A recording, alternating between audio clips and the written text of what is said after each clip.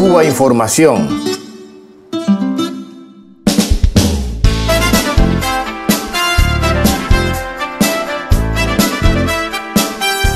La semana pasada, toda Cuba se vestía con cintas amarillas para reclamar al gobierno de Obama la libertad de los cinco cubanos condenados injustamente hace 15 años en Estados Unidos, cuatro de ellos aún presos. La originalidad de la iniciativa obligaba a algunos medios de prensa internacional a hablar de este caso, silenciado tanto en Estados Unidos como en el resto del mundo.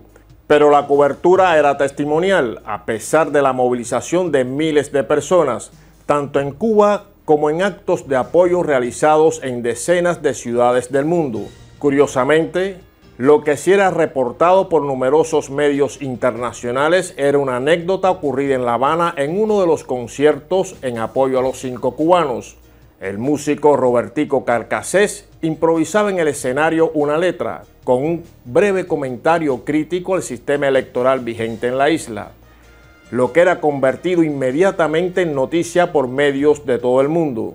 Estos medios apenas recogían la condena de artistas y bloggers de toda Cuba que consideraron las palabras de Carcasés como fuera de tiempo y de lugar.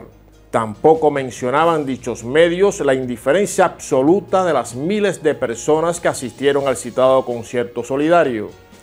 Una simple búsqueda en Google este domingo sobre el músico cubano Robertico Carcasés arrojaba 4.340 resultados, 30 veces más que, por ejemplo, una importante noticia internacional, la agresión de soldados de Israel a la diplomática francesa Marion Castain, quien viajaba con ayuda humanitaria para la población palestina.